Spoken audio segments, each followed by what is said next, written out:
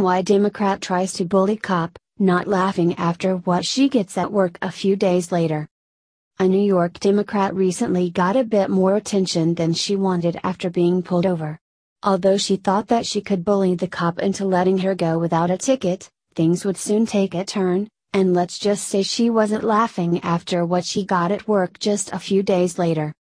A shocking video went viral after a judge approved a Freedom of Information request to release dash camera footage of an incident that occurred between New York County legislator Jennifer Schwartz Berky and the police.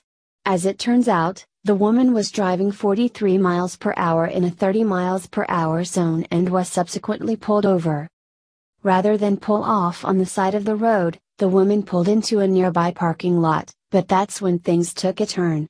Although most people would be courteous and respectful to the police officer, that was anything but true with Berky. From the moment she opened her window, she immediately began exhibiting signs of an entitled mentality until, eventually, she tried to bully the cop into letting her go without a ticket. In all, a condensed version of the entire 25 minute ordeal has gone viral as people have viewed it well over 200,000 times. As can be seen in the shocking clip, Berky tries a handful of different techniques in hopes of being let go, but none of them worked. At first, she merely tried to explain herself, saying that she was just following the flow of traffic and that everyone else was driving that fast, but when that didn't work, she changed things up. Just like that, she dropped the fact that she was a county legislator in hopes that this would persuade the officer to let her go, but she had no such luck. Unfortunately, she'd make things exponentially worse when she delved headfirst into a literal temper tantrum, claiming that she suffered from PTSD and was having a panic attack as she screamed, cried, and hyperventilated at the same time. Although the officer tried to accommodate the woman, for reasons unknown considering how she had treated him up until this point, the entitled brat wouldn't even take a lesser charge as she wanted off scot free. In the end, she would drive away with a ticket and court summons for the speeding charge, but that's not all.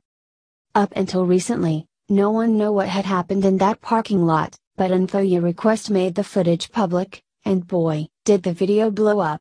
Of course, the entitled Democrat apologized for the way she acted, but it was only after the video was released, and by then, it was too little too late.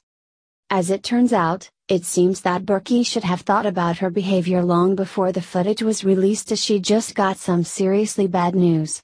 In fact, it's safe to say that the entitled brat wasn't laughing after what just showed up to her office a few days later. According to the Gateway pundit, Berky was most recently handed a metaphorical pink slip as constituents voted her out during this election. First term Democrat Jennifer Schwartz Berky lost to Republican Brian Woltman, 1,3811, on Tuesday for the Ulster County Legislature seat and District 7, reports New York Upstate. In short, she's out of a job. It just goes to show that actions have consequences, and sooner or later, the bad things you do usually do come back to bite you big time. Corruption is a huge problem in our political system, but what most recently happened proves that the American people have no patience for it anymore. Using your position and power to get out of punishment for a crime that you committed is really as disgusting and slimy as it gets. If you are a lawmaker, you should expect to obey the laws, not get a free pass. Too bad for Berky, she just learned the hard way that even she can and will be held accountable just like everyone else. I hope she likes life in the unemployment line. line.